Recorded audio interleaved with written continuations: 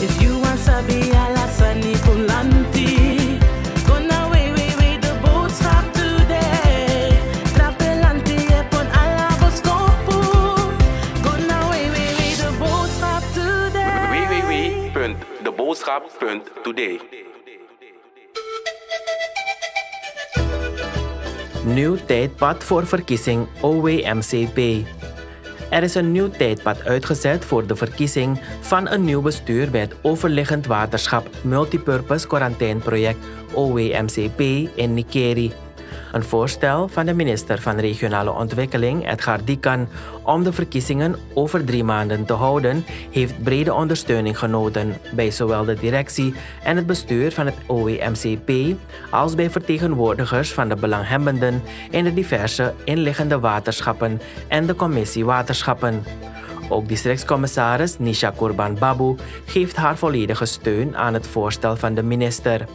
De minister was van woensdag 31 juli tot en met donderdag 1 augustus in Nikeri om een impasse door te breken nadat de bestuursverkiezing op gezag van de DC was aangehouden.